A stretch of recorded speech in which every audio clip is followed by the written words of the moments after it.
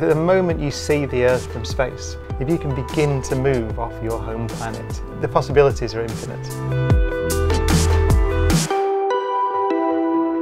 If money was no object, uh, what could we be doing to advance our knowledge of space and the cosmos that we're currently not? I would love to see an international mission to Mars, and truly international as well.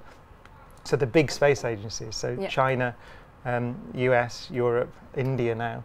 Mm. Yeah, I would like to see that. Chinese have been, I guess, behind the space race for a while, but would you consider them now a, a superpower? Yes, definitely. Um, because there's the ambition, and there's the investment, and there's the technological know-how. Mm. Um, so China give the impression to me of being able to essentially do anything that the, the, the, the country wants because it's got the resources, it's got the intellectual power Mm. to do it.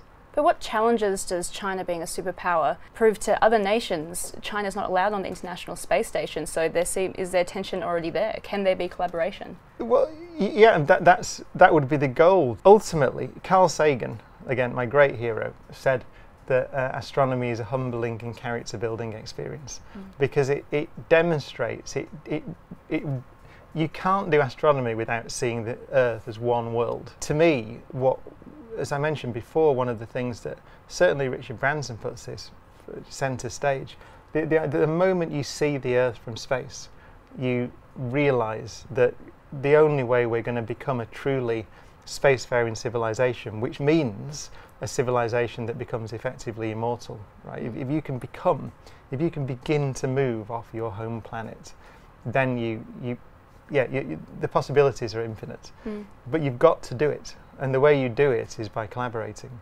So I think that's for me, the, would be the ultimate goal. I would love to see a, an international mission with China and the US and Russia and the Europeans uh, and India actually going to Mars because it would be a unifying force. Mm. So you're bringing your Universal live show here to Hong Kong in June.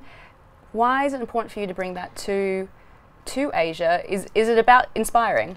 Yes, and it's about ideas. Mhm. Um, I mean, it's basically, at one level, it's about cosmology. Mhm. So it's about what we know about the origin and evolution of the universe. But uh, you cannot do cosmology, first of all, without it being terrifying in, in the strictest sense of the word. Because, you know, I mean, for example, we, we are one planet around one star amongst 200 billion stars in one island of stars called the Milky Way. The current number of galaxies in the observable universe is something like 2 trillion. So Mhm. that's 2 trillion galaxies in the bit we can see. We're very sure that the universe extends beyond the bit we can see, Mm. maybe infinite in extent. And now we have theories that possibly, theories called eternal inflation, which possibly that, that universe, even if it's infinite, might be one of a, an infinite number of other bubble universes. Well, So that, that, that raises very profound and challenging questions, I Mm. think, about um, our place. So, what is our place?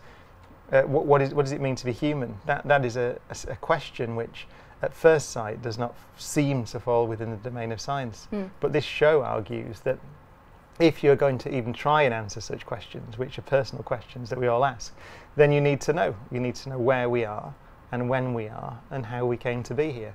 I'd like to know what would you say to people who the average Joe that does believe in science but is um, sees all these people with such loud voices saying that what they believe in is wrong. What would you say to them to, to give them hope?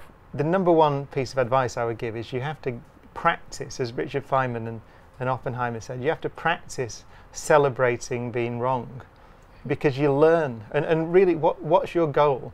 Is your goal to appear to be right or is your goal to learn more? And if your goal is to learn more, that's what I would say. Make your goal to learn more Mhm. rather than be seen to be right. That, that would be my single That's- piece of advice. That's a great piece of advice. Professor Brian Cox, thank you so much for joining me today. It's been fascinating. Oh, thank you.